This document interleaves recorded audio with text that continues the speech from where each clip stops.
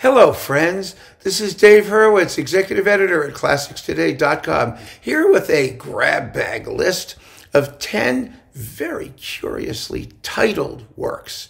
But they're not just funny titles, they're funny titles of masterful works because the musical universe is full of stupid titles and full of titles in which the most interesting about the music is the title and the music is kind of like well, not not so much. But here we have 10 masterpieces that have rather amazing names and I just wanted to throw the list out there. I know that you probably have your own. I am more than happy to hear what you think about your curiously titled masterpieces. And there are tons of them, tons of them, tons. But this is just 10 that I sort of compiled off the top of my head just for fun so that I could throw them out there. And if you find these titles curiously intriguing, you might want to listen to the music. And it's all over the place. We've got orchestral works and chamber works and, and even an opera in here somewhere. Yes, we do. Oh, it's all kinds of stuff. So here's 10 weird names, but music that lives up to them. Number one, C.P.E. Bach's Trio Sonata in C minor, subtitled Gespräch zwischen einem Sanguineus und Melancholicus, which is a conversation between a cheerful person and a dismal, droopy, unhappy person, a melancholy person. Now, this is, like I said, it's a trio sonata. It's for two violins and continuo. So the two violins, one of them is happy and one of them is sad. One of them is muted and one of them isn't.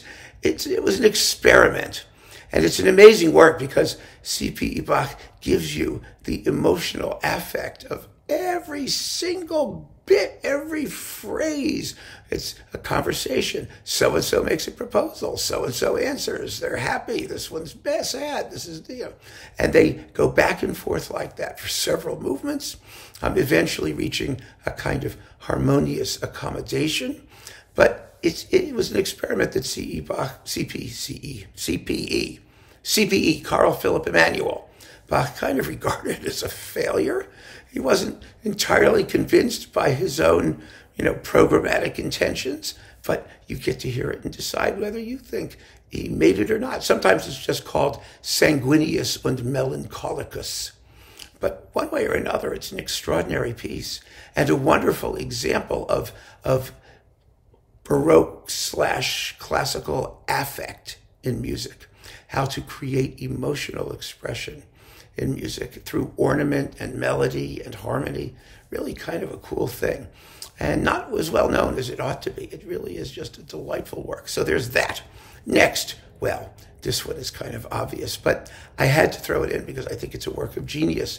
P.D.Q. Bach, aka Peter Schickele, Iphigenia in Brooklyn, one of the great faux Baroque cantatas for countertenor and an orchestra that consists of strings and double reeds. That is, double reeds without oboes and bassoons, just the reeds. Oh my gosh, what a riot this is. Of course, Iphigenia got around. Iphigenia was, was in Taurus and was in Aulis, in two separate Gluck operas. She pops up all over the place in Baroque music. And so, because she seemed to be traveling regularly, uh, PDQ Bach stuffed her into Brooklyn. Um, and since I happen to live in Brooklyn, I'm moving out of Brooklyn, but I sort of live in Brooklyn, it's still here in Brooklyn. I thought that I would do something for the hometown team, the hometown team. She lived right down the street at the Barclay Center on that site. That's where you could find Iphigenia. The title is great. I mean, it's just great. It's such a wonderful send up of all of the Iphigenia operas and cantatas and things that you find throughout the period. So Iphigenia in Brooklyn definitely, definitely gets the job done. It's music that certainly lives up to the title. And if you don't know it, and if you don't know your PDQ Bach, and you're a classical newcomer, he's one of the great classical comedians in the world who wrote funny, funny, funny take send ups on the classics. And the more you know the classics, the funnier it gets. And the performance with John Ferrante, the bargain countertenor.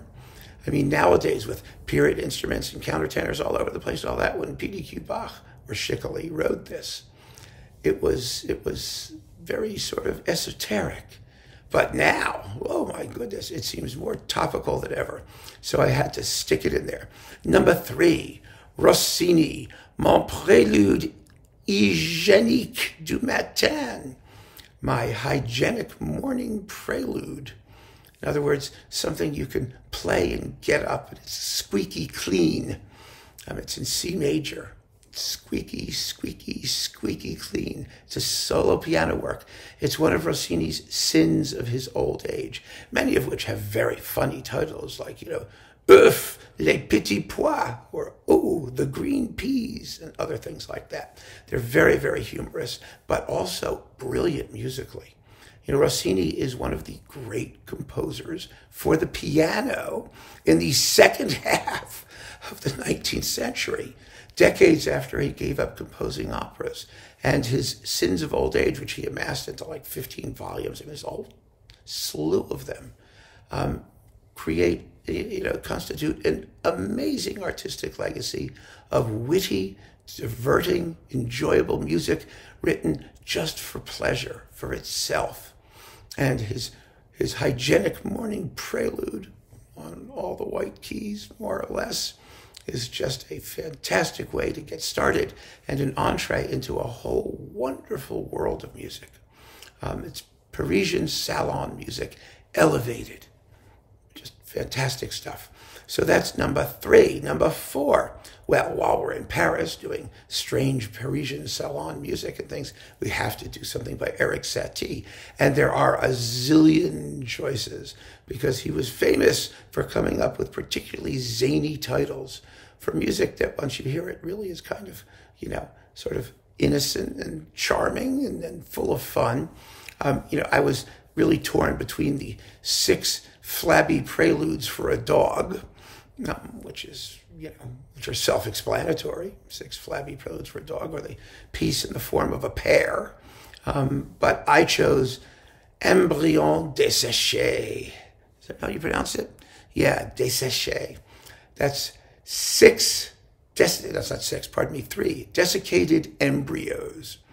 And the reason I chose desiccated embryos is because, well, there are three of them. It's because the titles of each of the desiccated embryos are just as bizarre as the general desiccated embryo title. You've got the desiccated embryo of a holothurian, a holothurian, and then you've got the, the holothurian is like a sea cucumber. I mean, these are Latin names of sea creatures, strange sea creatures often. And then we've got the desiccated embryo of a Edriophthalma, an Edriophthalma. That's like sand lice or something like that. You know, another crustacean critter sort of thing. And then we have the desiccated embryo of a Podophthalma. That's like a lobster or something like that. It's something with eyes on stalks that crawls around. And they are, I mean, they are charming, delightful pieces. Anything desiccated or embryonic about them? Not that I can tell. But boy, that title's going to grab the attention, isn't it? I give it, give yourself a, a, a, shot at your desiccated embryos. You won't be sorry.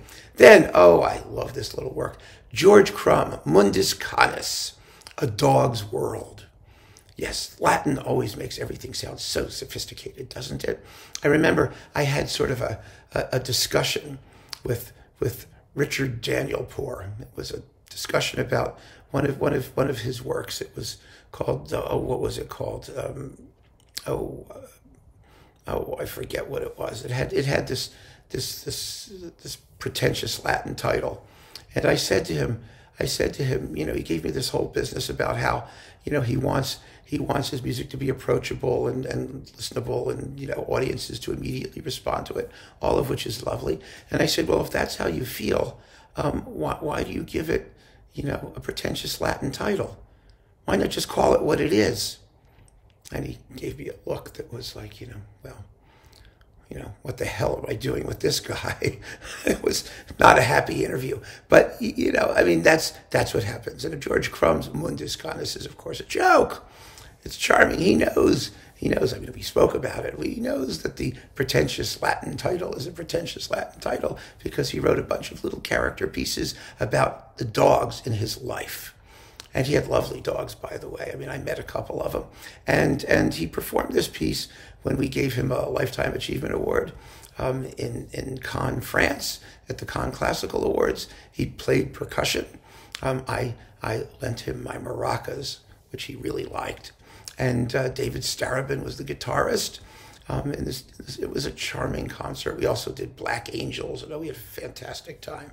It was a wonderful, wonderful um, event organized, you know, by Bridge Records to bring Crumb over to to Cannes, and you know, he's he's gone now recently. Brilliant, wonderful, warm, witty man who wrote fabulous music. So, A Dog's World is lots of fun. And then after A Dog's World, oh yes, of course, William Alwyn, Symphony Number no. Five, Hydriotaphia.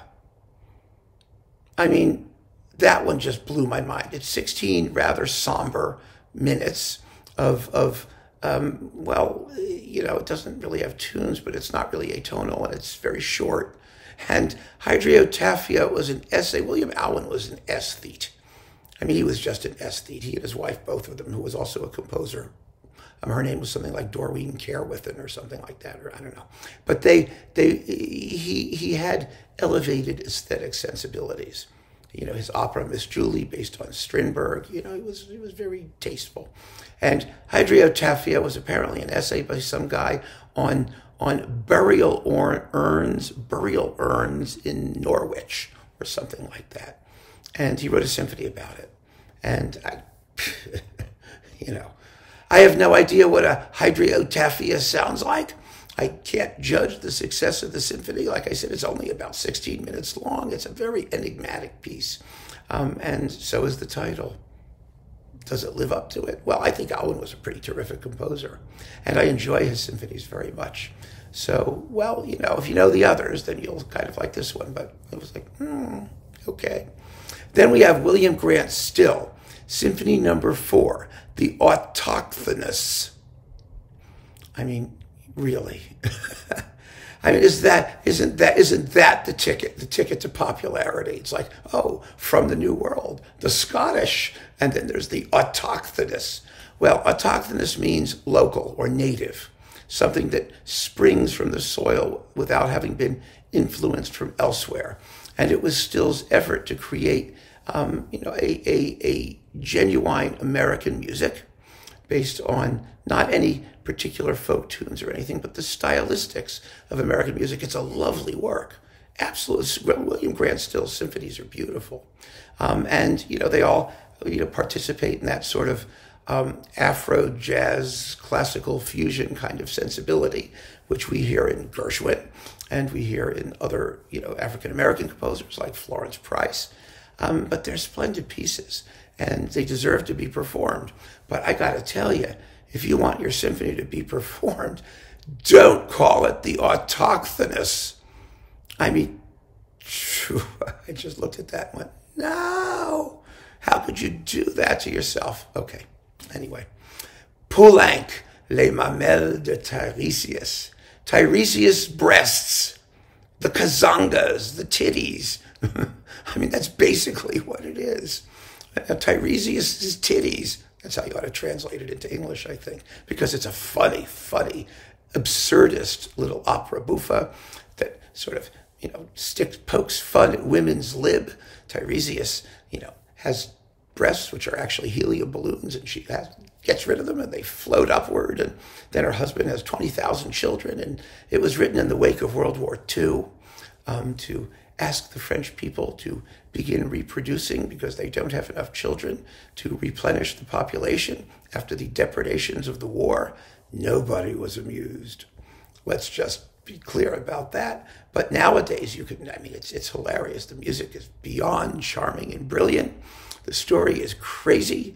And how many, I mean, you only hear the title in French because if you said, oh, it's Tiresias's titties, who would, who would go to the opera to see it? But it's really, really funny and just a work of flat out genius and a wonderful counterpose to Dialogues of the Carmelites, which came next and was totally different. I mean, a grand, tragic opera. Just fabulous. And always with Poulenc, when he's setting words, the music is, is so fabulously attuned to the, the nuances of the text. It's just delicious to hear his singers sing French to his music. It's, just something perfect about it. I just adore the work and you will too. And just think of it as Tiresias's titties, and you'll be you'll be you'll be right in exactly the mood that you should be to enjoy it. So after Poulenc, Honegger, the monopartita. Now that sounds like a disease, doesn't it? You know, mononucleosis, something like that. You know, it's the monopartita. What is a monopartita? Well, a partita is a Baroque suite in multiple movements, um, each of which you know, or many of which are dance movements. I mean, generally speaking, that's what a partita is. The Bach partitas for keyboard, right? You've got a big prelude or overture type thing, and then a bunch of dances. You know, Allemande, gigue, courante, sarabande, that kind of thing. So a monopartita is a dance suite in one movement. And it, that's paradoxical, but the everything is joined together in a continuous stream so it really is a mono, a single partita, a one movement partita. Make of it what you will. The music happens to be delightful. I enjoy it very much, but you know, the title, oh my, I, you, know, you want to like scratch yourself, right? When you see it, oh God, it's the mono partita. You know, it's like, you know, get me some, get me some cortisone and spray or something, or take a pill. Yes, so there we go. And last but not least, one of my all time favorites Bax, yes, from the planet Baxia, the nympholept. I mean, nympholept? Hmm. I mean, it obviously sounds like nymphs, as in nymphomania. I mean, you could have called it that too, nymphomania. But nympholept means means possessed by nymphs. And I did a video on why being possessed by a nymph is a bad thing. So if you want to take a look at the music chats and just do a little search on my channel homepage under nymph, and you'll find the, the talk. But nympholept, I mean, you know, there's another one of those titles. It definitely sounds like something you should be in, in psychiatric care for. You know, I suffer from nympholeptia or nympholeptosis, or, you know, you know, it's it's one of those things, but the title is just, oh my God. And it was really funny because, you know, Bax was not a well-known figure until the past, you know, couple decades or so when Chandos started doing that edition of all of his orchestral music. There was so much stuff. And people knew people knew Tintagel, they knew they knew some of the tone poems, November Woods, a couple symphonies. Nobody knew how much stuff he'd done. And so you get a symphony and then the coupling, it was like, oh, hmm, nympholept. Well, haven't heard that in a while, have we? I'm not sure we want to. But yes, it, it is a, it's actually a rather, you know, dark, charming, sexy, fun piece of music. It is. Um, and the title does not sell the product particularly well. But there you go, friends. 10 absolutely wacky titles for 10 pieces of music that are really kind of worth exploring and worth hearing. Give them a shot. You won't be sorry. So keep on listening, friends. Thanks so much for joining me. Take care.